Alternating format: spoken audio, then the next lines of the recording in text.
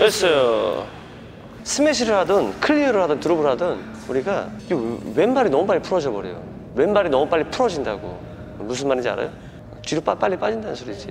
예, 되게 빨리 빠져요. 저 한번 봐봐요. 제가 한번 때려볼게요. 왼발이 최대한 앞쪽에 잡아두고 때릴 때만 순간적으로 빠져야 돼요. 봐봐요. 왼발 이렇게 때, 때릴 때 빠지잖아요. 그죠? 다시 왼발 왼발 밟아야 돼요.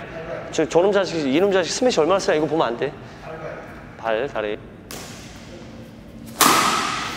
어, 때릴 때 순간적으로 뒤로 빠지잖아요. 그죠? 다시 어, 다시 한 번 더. 그죠? 어, 근데 우리가 어떻게 하냐면 이렇게 해요, 우리는.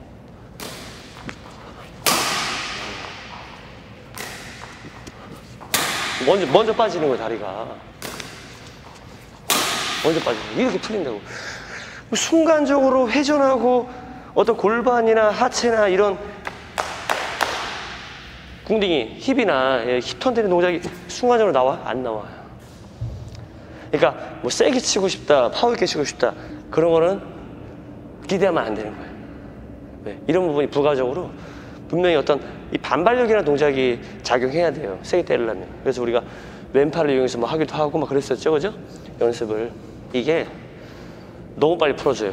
그러니까 우리가 그립을 그립을 초반에 잘못 잡아서 이러한 제대로 된 어떤 손목이 발달하지 않은 것처럼 그립을 제대로 잡고 스냅 스트로크를 초, 초반에 해야지 손목이 발달한단 말이에요. 근데 마찬가지로 이런 케이스가 어떤 경우냐면 왼발을 자꾸 이거 들고 바꾸려고 하는 사람들이 케이, 전형적인 케이스예요.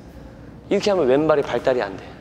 그러니까 이 왼발 발달이 되게 중요해요. 그러니까 수평을 쓴 상태에서 뒤로 빠질 때 순간적으로 방향 전환을 한다든가 이렇게 왼발을 이용해서 순간적으로 이렇게 차면서 한다든가 이렇게 그죠? 방향 전환 하죠 그죠? 이렇게 또는 강하게 때리기 위해서 왼발을 찬다든가 어, 이런 동작들 그죠? 차면서 들어간다든가 어, 또는 뭐 찍어서 돌려서 뭐 확 하체를 리드해서 때린다든가 또는 볼이 뒤에 있을 때 뒤로 차는 힘이 있어야 될 거 아니에요 그죠? 그래서 왼발을 차면서 나가든가 그러니까 타점이 너무 뒤에 있어서 그럴 때 어? 이런 이런 이런 동작들 근데 왼발을 발달이 돼야지 가능해 그 왼발을 발달시키려면 왼발을 지면에다 두고 칠 때만 왼발이 지면에서 떨어지면서 그런 연습이 자꾸 돼 있어야지 왼발이 발달을 해요. 그렇지. 그렇지. 좀 최대한 교차하기 전까지는 좀 붙여놓으려고 하는 습관이 있어야 되는 거죠. 그래야지 얘가, 얘가 발달을 한단 말이에요. 그런데 우리는 이미 딱 들어가면서 이미 들려버려. 응? 이미 들려버린다고. 그러니까 사실 이게 좀 양면성이 있는 거예요. 그러니까 처음에 다리 교차하는 연습을 할 때 들어서 이렇게 하고 하지만 이게 점차 점차 드는 게 점점 점점 폭이 줄어들어서 들리지 않으려고 해야 되는 거예요. 계속 들고만 하는 사람들은 어, 왼발이 어떻게 된다고요? 발달을 안 해. 아까 말했듯이 뭐 차든다든가 뒤로 팡 차는 힘이 생긴다든가 뭐 여기서 파츠 리드에서 찍어 돌린다든가 이런 부분이 될 수가 없다고요. 얘한테 기회가 없어. 그러니까 이런 것들은 사실은 배운다기보다는 구력이 쌓이면서 경험을 통해서 체득하는 거예요. 나도 모르게 막 나오는 동작이란 말이에요. 근데 이게 아예 기회조차도 없어. 계속 들고만 하려는 사람들은. 이렇게.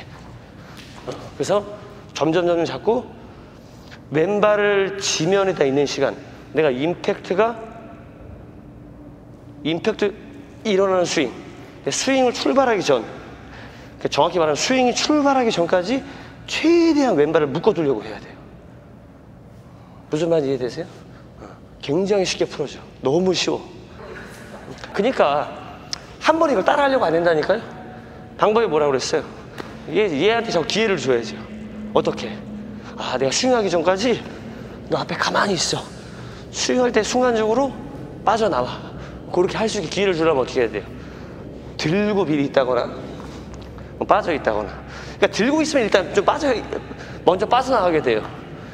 그러니까 최대한 좀 지면에 있으려고 자꾸 해야 돼. 그러니까 사실 이런 부, 이 부분이 많은 분들이 이렇게 하시더라고요. 알겠죠? 그렇죠. 어. 이렇게 되면 안 되겠죠? 이렇게 된다거나 아니면 어, 이거 안 되는 거죠. 어, 차이점 알겠어요? 그렇죠?